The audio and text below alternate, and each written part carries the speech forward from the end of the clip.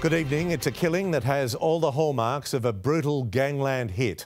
But according to police, the victim is far from an underworld figure. 24 year old student Marvin Oreja shot dead outside his home in Sydney's southwest. Tonight, detectives are on the hunt for the gunman as new vision emerges of the moments before and after the murder. A father overcome with grief, falling to his knees after losing his only son. His father no good now.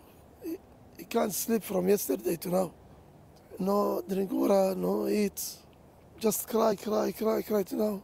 24 year old Marvin Oreja was executed in a flurry of bullets as he hopped into his car parked in the family's driveway in Elizabeth Hills yesterday afternoon.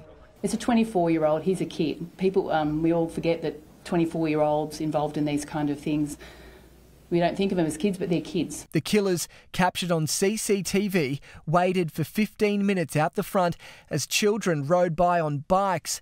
Marvin's girlfriend, mother, and little sister had just walked inside after the school pickup when the gunmen made their move. It's as bad as it gets. I think it's an awful crime. Really, really shocking for the family, for the people who live in that street, for his girlfriend. We don't know why, and his family, they don't know why, what happened with him.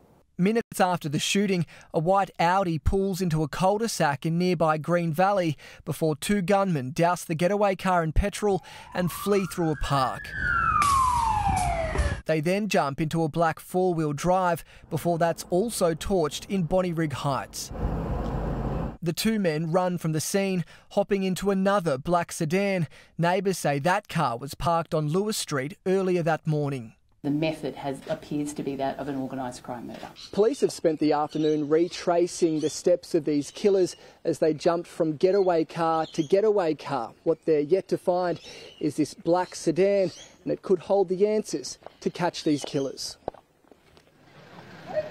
Back at home, family gathered, remembering the young barber who was studying and had dreams of becoming a project designer. Yes, and uh, a quiet boy lovely boy. Yeah, it was very good. Reporter James Wilson joins me from police headquarters at Parramatta. James, you have new details tonight about the man who was killed.